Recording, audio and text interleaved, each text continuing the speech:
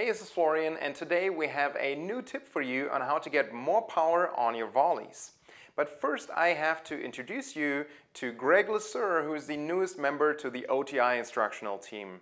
Now, Gregg is one of the best instructors I know in the tennis industry, and that's why I'm very excited that he's now joining our team.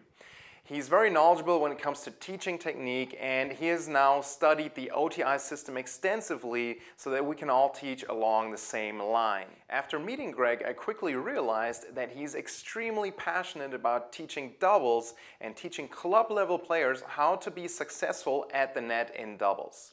So this week, Gregg will teach you how to become a dominating force up at the net in your doubles game. And that, of course, starts with hitting more powerful volleys so let's jump right into that first tip. Hello, this is Gregg for Online Tennis Instruction. Today we're going to talk about a tip on how to maximize and get more power on your volley. Now, when you volley, you get pace from the incoming ball, but also you want to get pace from your legs. You want to increase your momentum through the contact point. So, small adjustment you can make. If you take a pivot step and you push forward, I want you to do this while you watch this. Now I want you to take a step forward, load up on that right leg if you're a right-handed player, and now I want you to push with the right leg onto the left foot.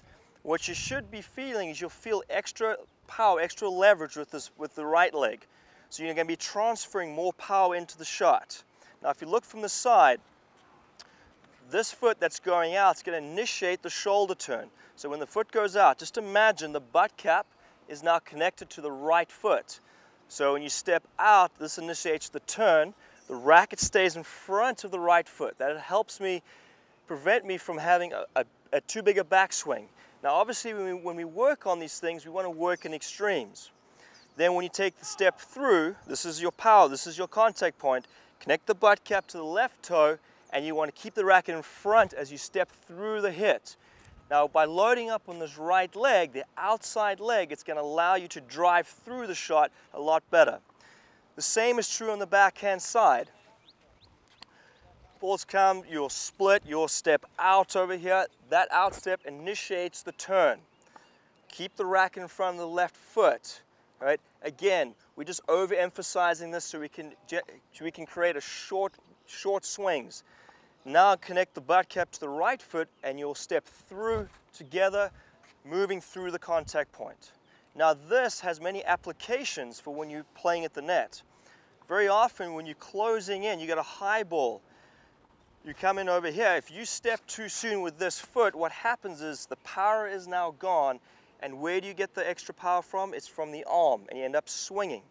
So many times when I have students that make that mistake, we work on moving to the ball of the flow to running in, then finding it with the outside hip on the right hip for the right-hander's forehand volley, setting the racket up and then stepping through the shot using the power from the legs instead of stopping and now having to resort to the arm which causes an arcing movement which can often lead to missing those easy floaters in the net.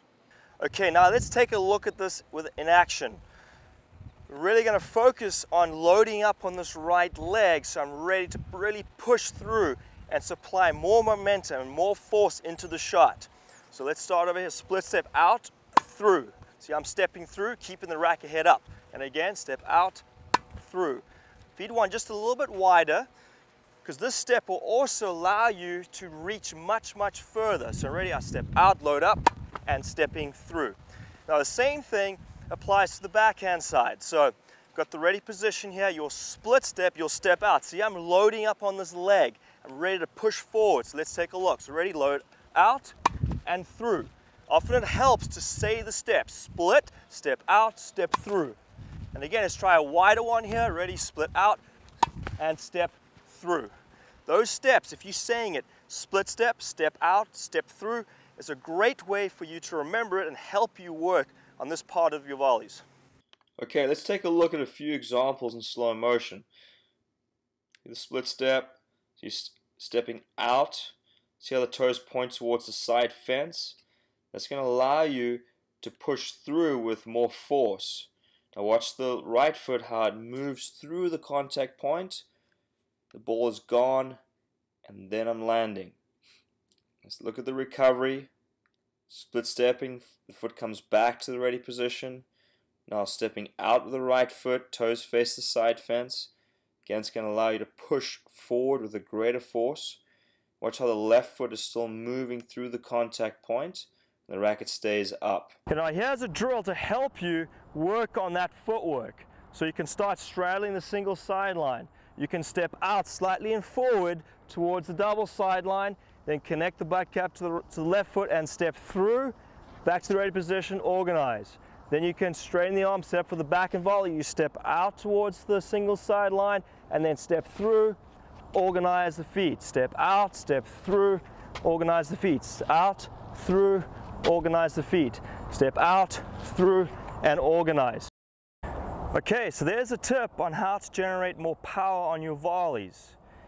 Make sure you go out and shadow swing these movements and ideally try to get somebody to feed you balls and then try to implement it in your play.